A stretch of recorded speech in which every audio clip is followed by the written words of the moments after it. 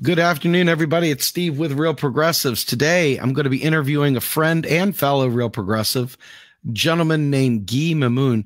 Guy is going back a ways. Guy and I met online years ago um, doing uh, discussions about progressive causes. Uh, he was a Green Party candidate. He had previously run as a Green as well.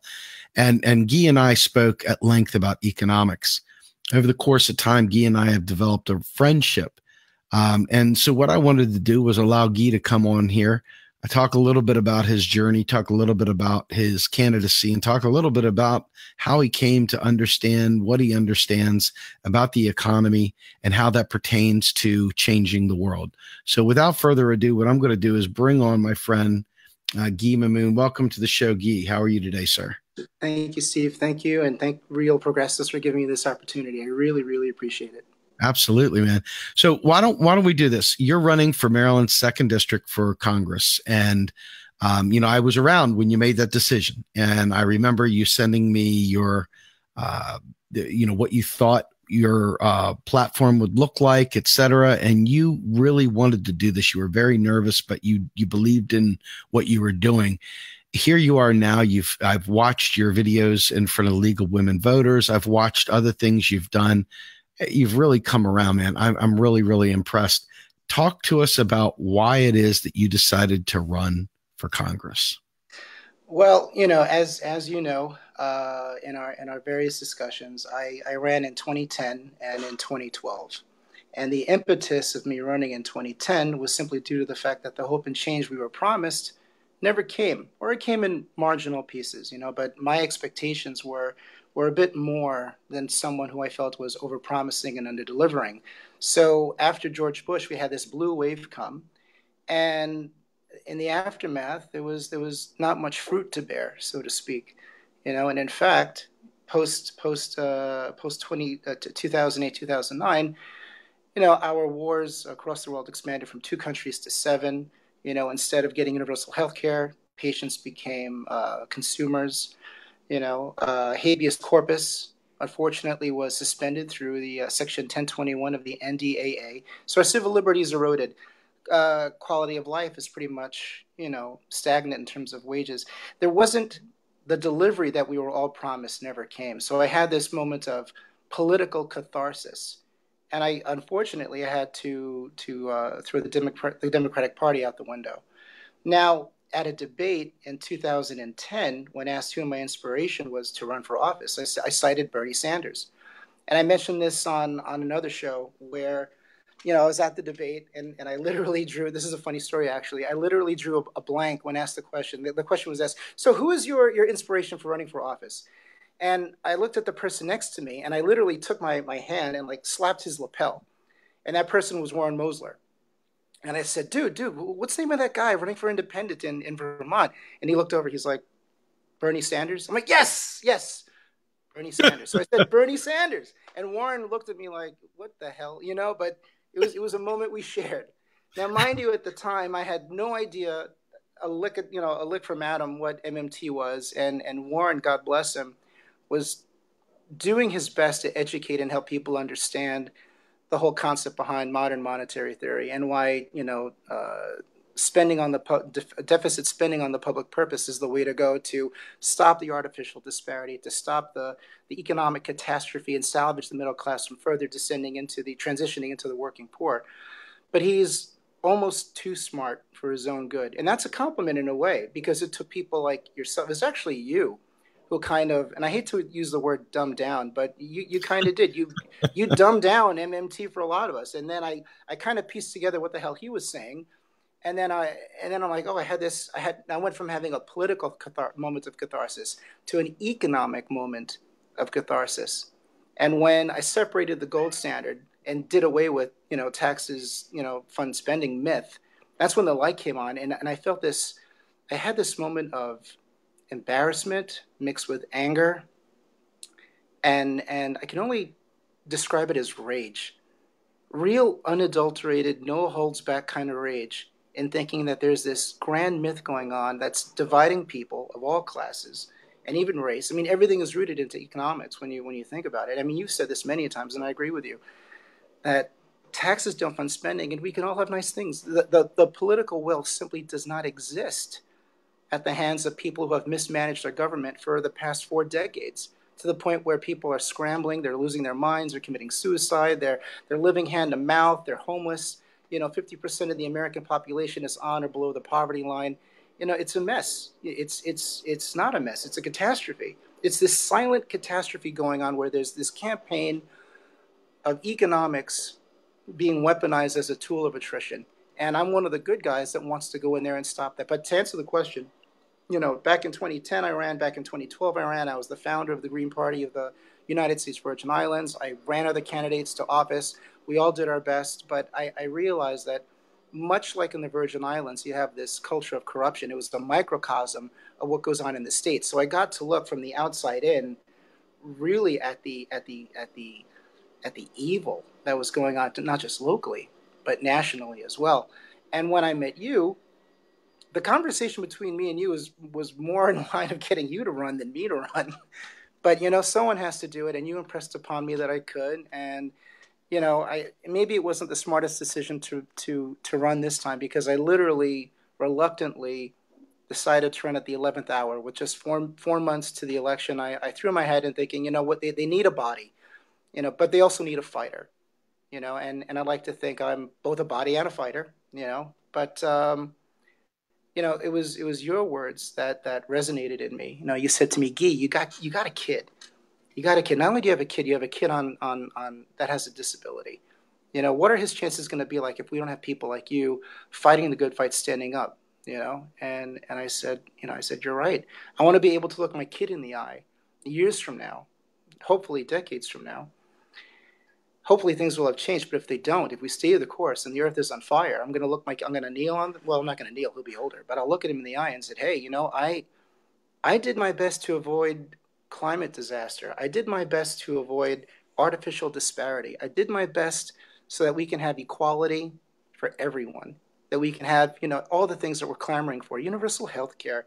Federally funded education, maternity leave, paternity leave, for a livable wage and not just at $15 an hour. I mean, that's like the catchphrase of the day. It should be more in line of like $25, even $30 an hour, you know, adjusted for the cost of living and inflation. I mean, there's there's just so much to say and I don't know how I don't know what we're going to cover in the time that we have, but my heart is in it, you know. I I I I want to serve. I think the greatest act one can do honestly is to serve and to ensure that future generations are not left in the hands of sociopaths because that's what we have right now. We have you know look there's nothing wrong with being success there's nothing wrong with being successful and being driven to succeed.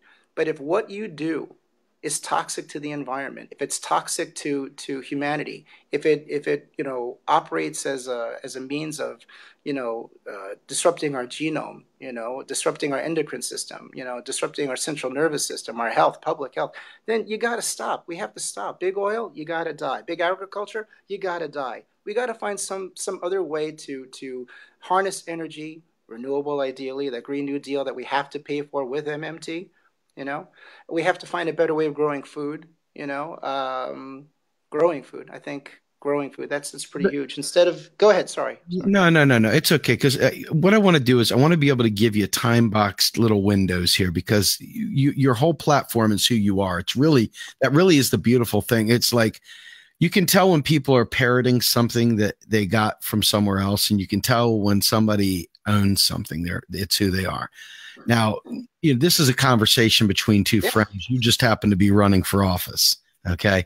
So w- when I think about this, what I think is most incredible here, okay, you did try to push me to run for office repeatedly. And I would just ignore your text because it's like, I can't do it, dude. I can't do it. And I had I had the Green Party of Pennsylvania folks pushing for me. I had all of our friends pushing for me to run. I couldn't do it. I because if there was anyone better to to bitch slap, uh, uh, what's his name? Uh, what's his name? Uh, Section M. Bob, Howard. Oh, Howard. Howard. No, Howard yes. Is anyone who could who could get the job done? yes, I I I have would have great glee in doing that too. Trust me. but but but just on a very serious note though as far as it goes um you know, I was presented with a position that I couldn't do. And it was just soul crushing.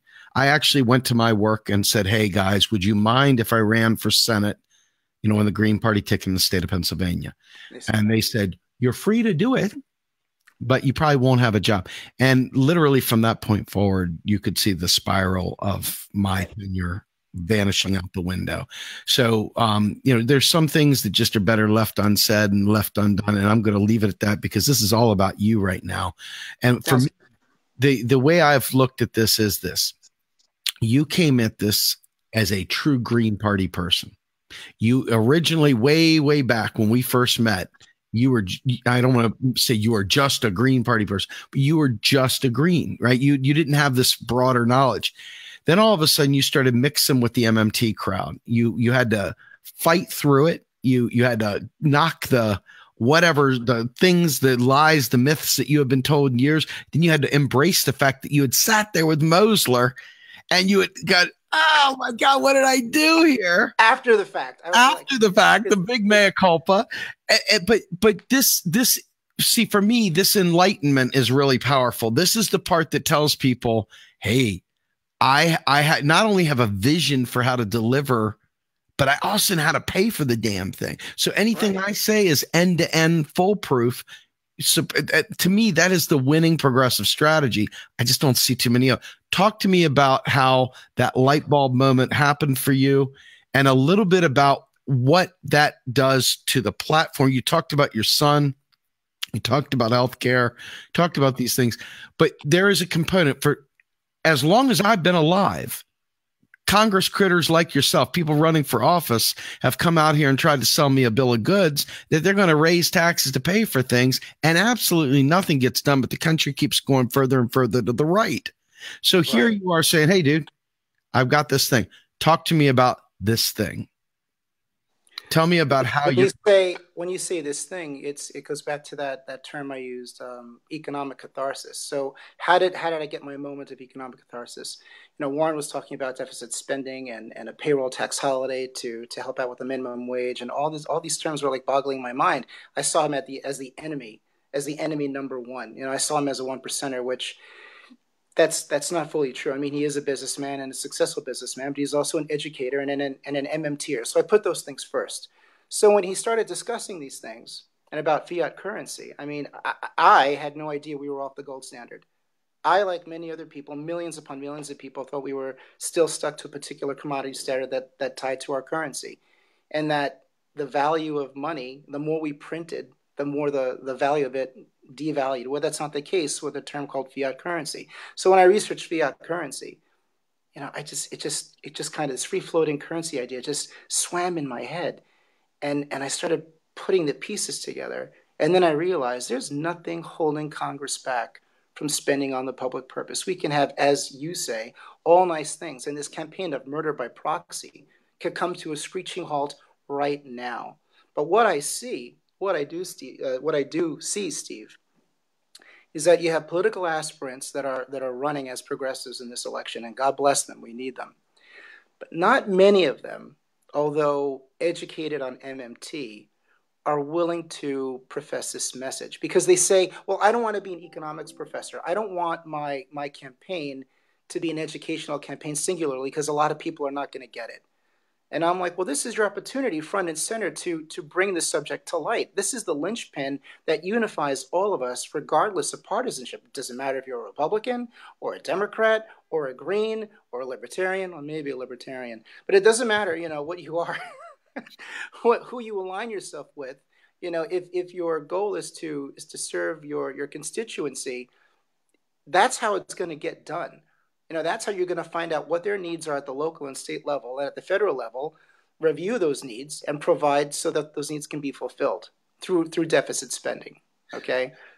Well, let, let me ask. I want to ask you a, a bigger question here, right? So okay. you're running as a Green Party candidate, and Green Party puts itself out there as a decentralized party blah, blah, blah. But the Green Party has Section M of its national platform, which sounds remarkably like the Republican platform that we got to reduce the debt and the national debt's going to kill us and, and all this stuff. How, how does a Green Party candidate break from the national platform so that they can run on economic truth? I mean, how does that Well, you know, you, you don't have just myself. You have Rodolfo Cortes. I think he's running in District 40 of California. You know, um, and I, would like to think Kenneth May, Mejia, but I'm not too sure if he has embraced MMT in his platform. Um, but I know Rodolfo and I have. So to answer the question, how do we how do we break away from the the party line just by being objective and being individuals and, and staying true to ourselves? You know, I, I can't be pigeonholed or typecasted because you know the the Green Party at the national level chooses to adopt an economic platform that I wholeheartedly disagree with. I mean, it just makes no sense to me, you know. But then again, you know, when when when you said when you first met me I was a diehard Green, I guess I was more of a diehard environmentalist slash technocrat, more than you know your your typified.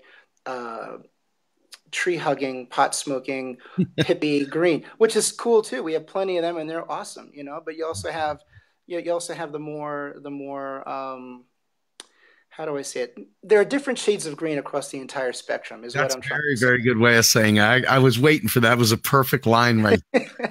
um, all right. I, have been. I mean, yeah, and there's no shoe one. There's no one shoe fits all political parties. So I had friends of mine saying you need to run as a Dem, and I'm like, listen, you know, I took my inspiration from Bernie Sanders before the term Berniecrat existed. You know, the guy was an independent senator for 30 years, and he ran, you know, a progressive uh, agenda throughout the entire time. Uh, he did things that that I I don't like.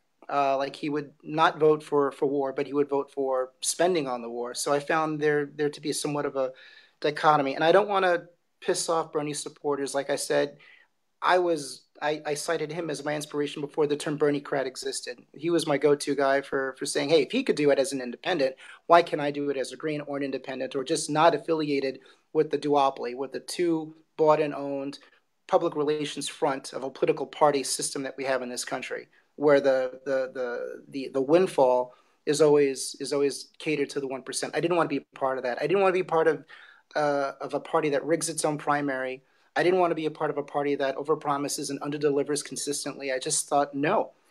If if if branding is an issue, if people if people are so concerned and so tribal in their thinking about oh i have to vote a certain way because my family votes this way or i base my identity on on my politics then i needed to change my identity as a green and embrace mmt and talk about other pragmatic ideas that i want the greens to embrace i'm trying to i guess i've green entered to try to make the greens go a bit more left, you know. And this is not a critique of the Greens. I'm trying to help the Greens in my own unique way.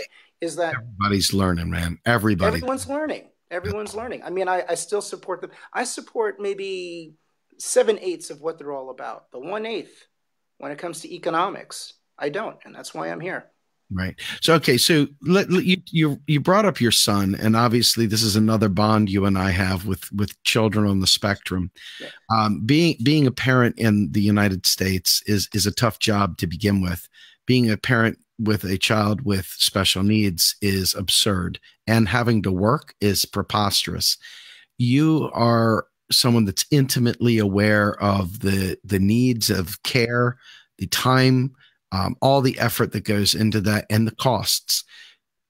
What would you, as as Guy Mimoun, congressional candidate, do um, to facilitate a, a, more, you know, more care, more awakening, more, more whatever, more services, more, more thought, more, you know, support for for families in general that have children that fall in the spectrum?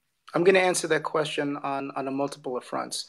I first want to point out that as, as, as much as people can sympathize with the predicament of another person, if they're not living it, then they can't understand it. And I think society is so fractured and disconnected, despite the fact that we have computers and work has been condensed, the work of 10 people into one. You know, we're working so hard you know we're, we're trying to just keep up every day keep a roof over our head. We don't have time to really network with our communities and and really branch out beyond our our smaller circles you know because if you go out farther enough you'll find that there's an endemic going on with kids having disabilities in this country you know and it has to do with our air our water our food quality pesticides pollution you know. So if you if people were were more aware of the plight of, of others in their community, they would have a more firmer understanding what it is we go through. And it's not easy. Having a child that is that is on the spectrum, you really, really learn I've learned actually. I um, there was this one time where him and I were in Central Park, the Central Park Zoo, and he wanted to go see the penguins. Right? He loved the penguins, how they would like jump on the rocks and then you know jump in the water and splash around and swim around. It was all it was all fun and good. So we'd go to the exhibit, we'd spend some time there, and then we'd leave. And then we'd walk around the sea lion uh, exhibition and make our way toward the reptile section. Now, instead of going into the reptile section, he said, "Daddy, Daddy, I want to go back into the rep- into the uh, penguin section again." I was like, "Oh, okay, sure. Let's. We're here. Let's go back." So we'd make our way, and instead of staying, he would just loop out of it and and and keep walking. And then I'd follow him, like, "Where, where are you going? Like, let's let's watch what's going on. Let's watch. You, you wanted to be here." He's and he wouldn't answer me. Next thing you know, I'd follow him to the entrance of the reptile section again, and he'd say the same thing. I want to go back to the penguin exhibition, and he would, and I'd follow him. And after the fourth time, I had to put my foot down to be like, dude, we're not we're not doing this. We have to keep, you know, we're here to talk and spend time with one another and look at the other exhibits. And he insisted. He was having he was having his first major tantrum, his mm. first uncontrollable, major on the spectrum autism tantrum. And despite my my my um, desire to to verbally negotiate things. There was no negotiating. He was full blown going someplace where I couldn't follow. Now, when I was a kid and I threw a tantrum, my dad, uh, he basically put me on his knee and spanked the shit out of me. I mean, he hit me so hard, I saw, I saw the living daylights, but I didn't cry. I, I was just brought to attention. I just, you know, it just stopped. I was in shock and awe. And from, from, that, from that moment on, I never threw a tantrum. But you can't do that to a kid on the spectrum. So I had to mm-hmm. wait. I had to wait 45 minutes, and everybody around me, every parent, every kid was staring at me. And I felt embarrassed and I felt ashamed. But then, you know what I thought to myself? This isn't their fucking problem, and they don't care. This is my problem. And that's when I had this instant moment of unconditional love. And I just took it. I, dude, I can so relate to that. I mean, obviously, I want to give you a chance to catch your breath because I fully understand. I took it. I took it, and I had this this wave of unconditional love over me, and it didn't matter what anyone thought. It didn't matter what people were were were staring at me. I just didn't care. I just cared about him and about him, you know, getting it out of his system. And in years in years since, we've we've managed to contain the tantrums. I've managed to, through unconditional love, get at his level, at his eye level, and talk him through what he's going through without him having to to lose his shit. You know what I'm saying? Absolutely. So, what would I do? Um, what wouldn't I do?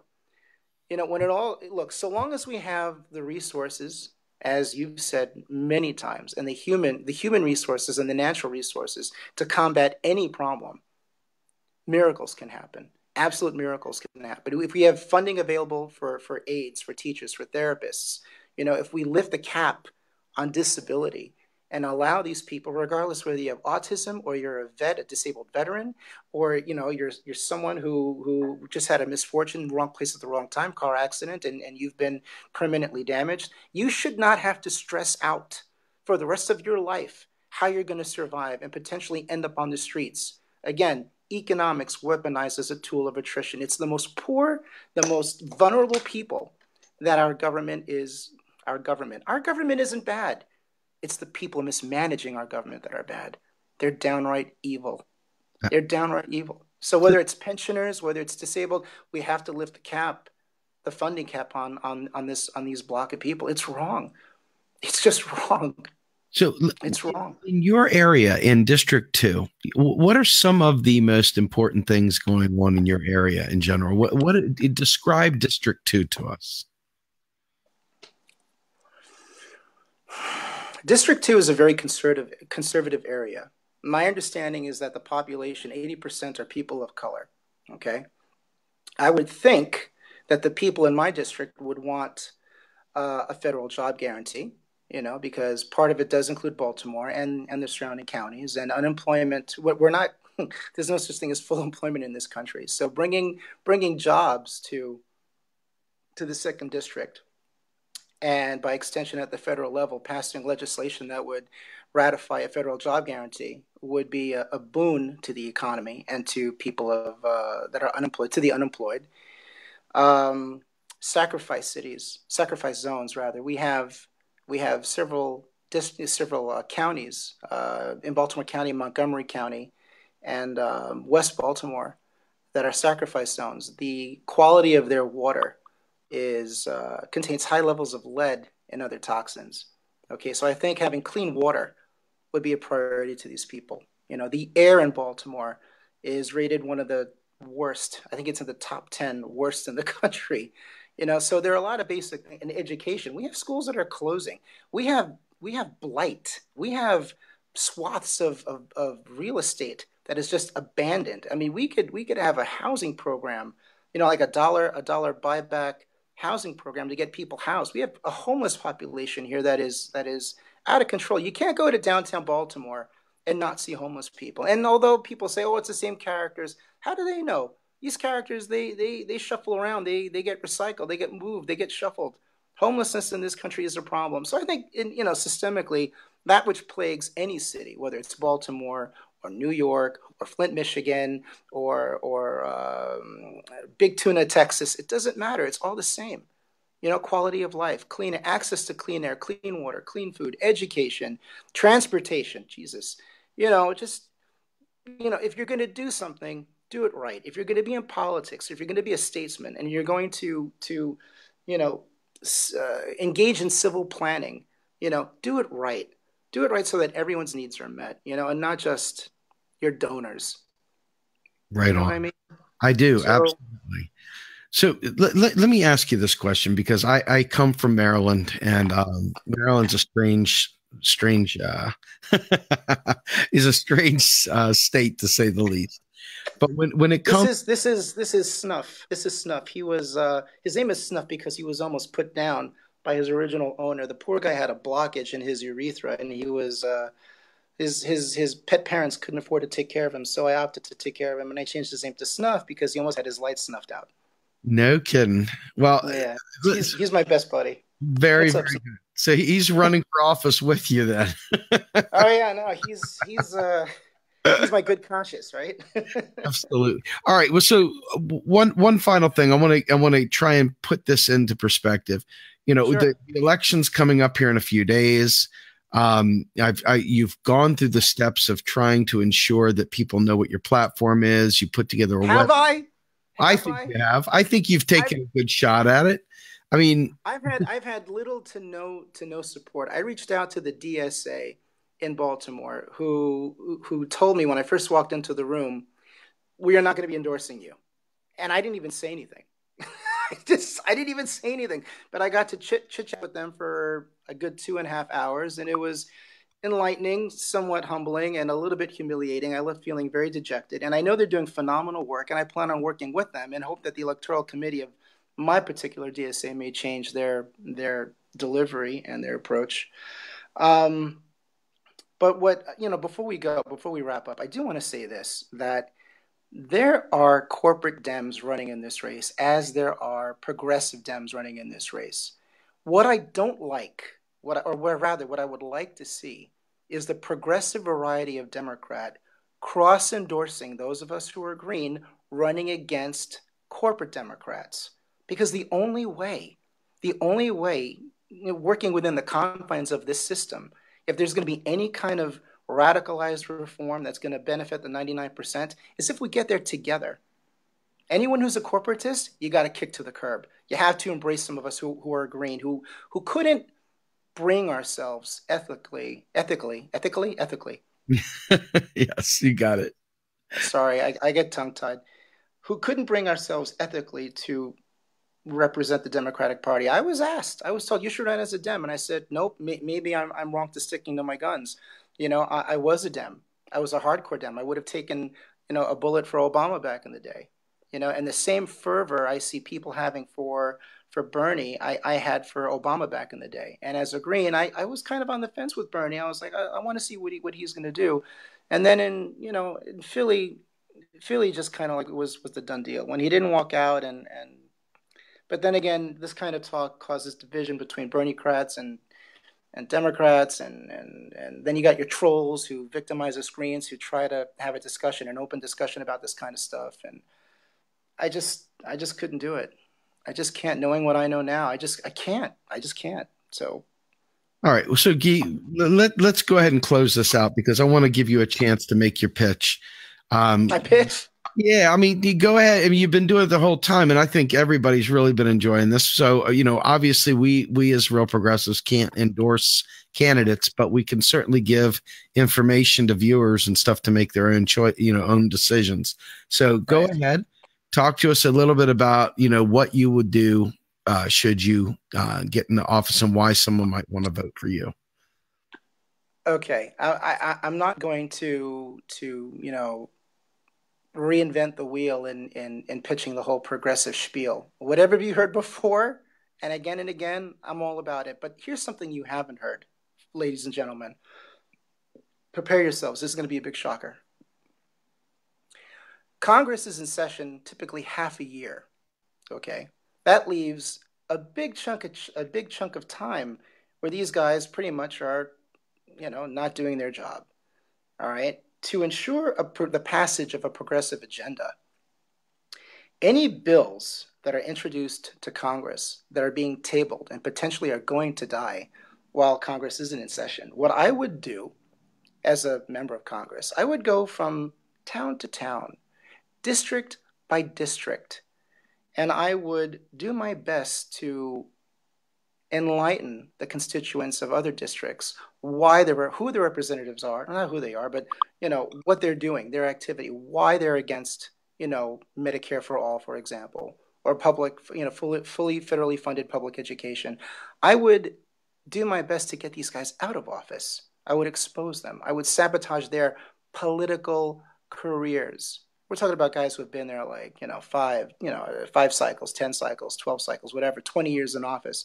Guys that have no no no uh, drive whatsoever at fulfilling and serving the public purpose. I would make it my business when we're not in session right? We're still being paid to just expose these guys. Go on the radio go on talk shows go in the media do town halls and try to inject progressive ideas into the conversation and maybe help other candidates i suppose that are fully embracing progressivism.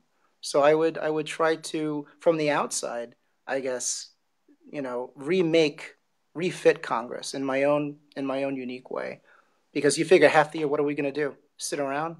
No, I'm not going to wait for another election cycle to come around to come about to to then then change the conversation or have this conversation. It would be throughout the entire year, throughout the entire time I'm in Congress. When I'm not on the floor, I'm talking to the people. When I'm not drafting a bill or co-sponsoring a bill, I am you know, front line and center talking to people, regardless of what district they're in, just to make sure that we get the service we need from our government. So I guess I guess that's it. I, I, implore you to vote for me. I'm up against a career politician, the, the equivalent of Joe Crowley, I suppose, in Maryland. He's he's pro surveillance state. He's pro war. He's not pro healthcare, at least not universal healthcare. He wants to refit the Affordable Care Act. I mean, there's a laundry list. If you go to my website, guyforcongress.us, you'll see a section like critical analysis of Dutch Ruppersberger. You'll see the, the one debate that I was in that I was allowed to be in. Uh, and thank you to the League of Women's Voters. And and that's about it. And just, you know, vote with your conscience. Try not to say tribal in your mind of, of, of, of your allegiance to any particular party. That's it. All right, brother. That was great. Thank you so much, Guy. I really think you knocked it out of the park. I hope. I don't know. Hey, it was my best. piece of cake, wasn't it? It's a cake. Hey! Hey, hey, what are you no, I, I applaud you, and, and, you know I know that this is not easy for you because I remember our first time really meeting in Washington D.C. And if, you know what, I I should have probably started off with this, but I'm going to finish this off with this. Okay, so I get invited to speak at a rally in Washington D.C. and I'm really excited about it turns out to be a Trump Q rally. I had no idea what I was in for at all. So I show up there with my real progressive colors on. I'm, I'm, sitting there ready to talk, and all of a sudden I got these MAGA hats sitting there yelling at me, "Yeah, you, you're progressive, you're for comedy and all that stuff." And I was like, "Oh God, I'm going to speak in front of this crowd. What do I do?" And there's Guy there. He's the only guy there coming to support Steve Grumbine. There's Guy. My, but by the time it was all over, this is the interesting thing, and this is what makes your economic platform and MMT in general so powerful I was able to shift right. gears on the fly and be able to address veterans affairs, autism, and and, and really, quite frankly, um, keep you know the, the things that mattered to them. And by the time right. it was all said and done, I was blown away to hear a MAGA crowd applaud me. Literally, do this number and say, This guy knows what he's talking about. I was just like, wow, I did not anticipate that. So when you talk true economics and don't partisanize it, if you will. You just talk what right. is real.